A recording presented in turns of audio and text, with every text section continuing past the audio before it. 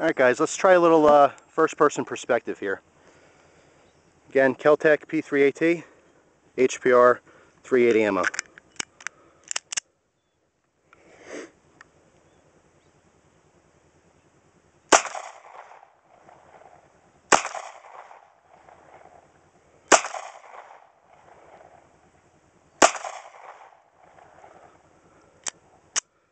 Made a failure to eject.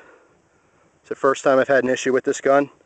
If you guys saw that, actually should have, uh, you know, showed you before I cleared it, but uh, shell just got pinched in between the slide and the barrel.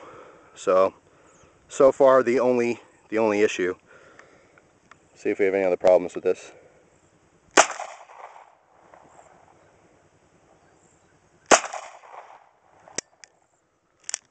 Alright, so you guys saw it.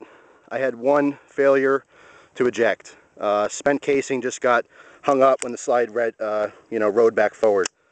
So, so far, you know, one issue with that. But uh, let's keep filling them up and keep shooting.